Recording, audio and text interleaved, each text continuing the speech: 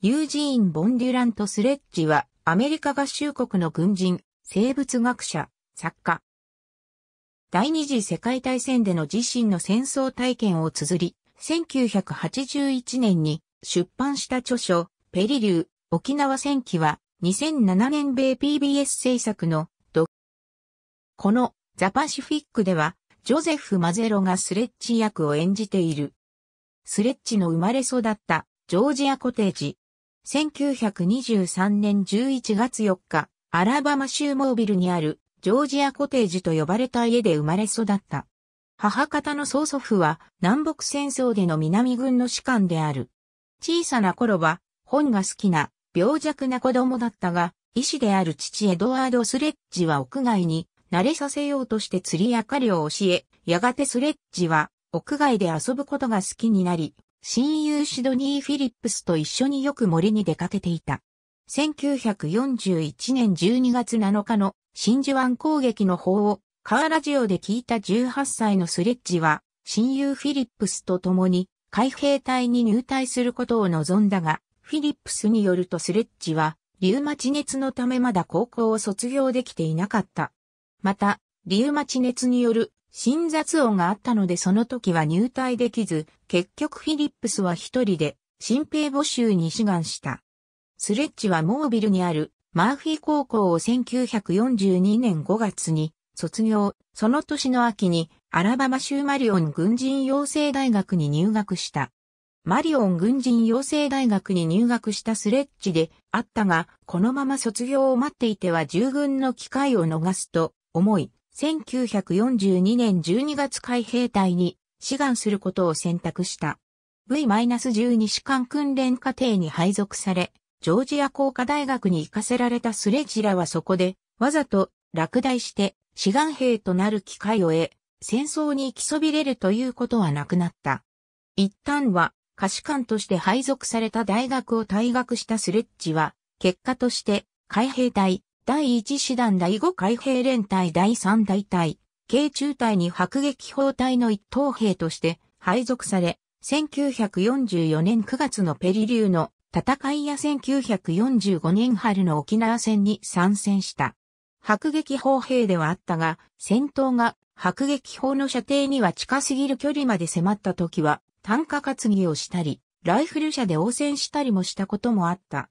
スレッジは戦場に傾向したポケットサイズの新約聖書の中に日々の出来事を書き留めたメモを残しており、戦争が終わった後執筆したペリリュー沖縄戦記はこのメモ書きを元にして書かれた。占領任務のため北京に赴任した後、1946年2月に海兵隊を除隊した。最終階級は5条であった。戦後、スレッジはオーバーン大学に入学した。在学中は学生クラブファイデルタシータのメンバーでもあった。1949年の夏に理学士の学位を取得し卒業した。だが、スレッジも他の多くの退役軍人と同様、なかなか市民生活に適応できずにおり、当時の思いを次のように書き残している。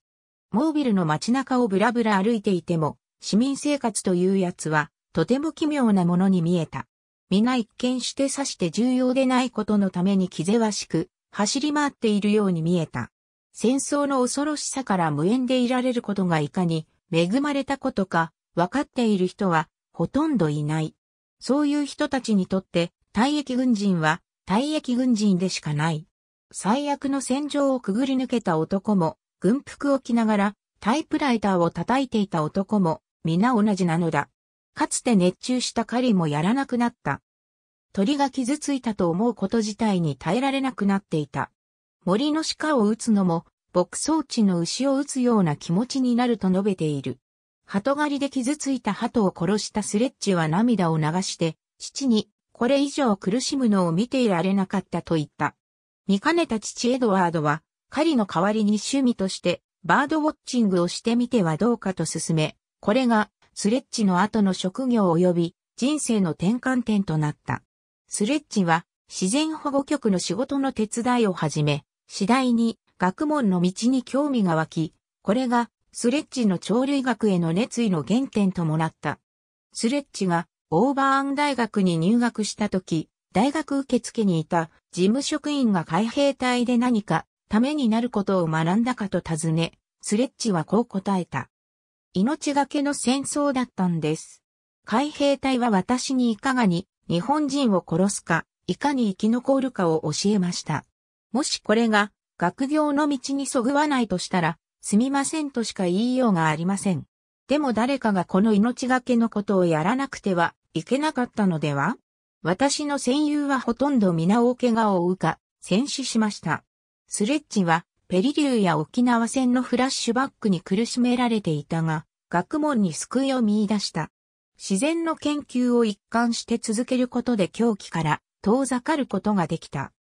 だが戦争のことが頭から離れたわけではなかった。そんな時、妻の後押しもあって、自分の思いを原稿用紙の上に書き留めるようになり、ついには戦争の恐怖と決別することができた。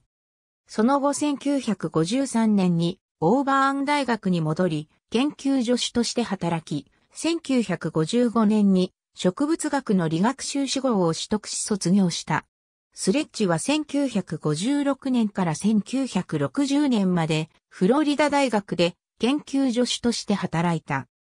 全中学について多数の論文を残し、1956年ワシントン全虫学会に入会している。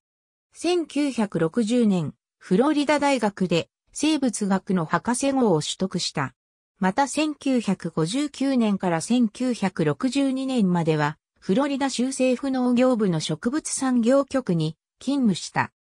1962年の夏、スレッジはアラバマ大学の生物学の助教授に就任し、1970年教授に昇進している。1990年に引退するまで教授職を務め続け動物学、鳥類学、脊椎動物比較解剖学などを担当した。郊外への調査旅行や野外採集活動をして生徒に人気があったという。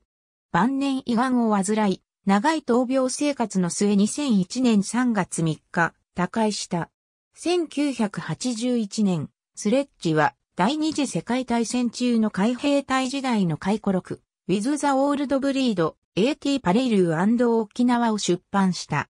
この本は1990年にポール・ファッセルの助言を、また2007年にはビクター・デイビス編成の助言を付して再販された。1992年にはドキュメンタリー番組 Peleliu 1944 Horror in the Pacific でスレッジが取り上げられた。2007年4月、バンド・オブ・ブラザースの制作陣がスレッジのペリリュー、沖縄戦記とロバート・レッキーの著作、 Helmet for My Pillow を原作として、テレビドラマ、 The Pacific を制作することが発表された。2作目の回顧録、 China Marine、アン・インファントリーマン、S ライフ・アフター・ワールド・オー2はスレッジ死後の2002年5月10日、スティーブン・アンブローズの巻頭言を添えて、ハードカバー版でアラバマ大学出版局から刊行された。初版の書名はサブタイトルなしのチャイナ・マリーンであった。2003年にオックスフォード大学出版局からサブタイトルアニ・インファントリーマン S ライフ・アフター・ワールド・ウォー2をつけてペーパーバック版が出版された。この本ではスレッジが太平洋戦争後に赴任した中国北京での占領任務生活、モービルに帰郷し、戦争の心的外傷から立ち直るまでの経緯などが綴られている。ありがとうございます。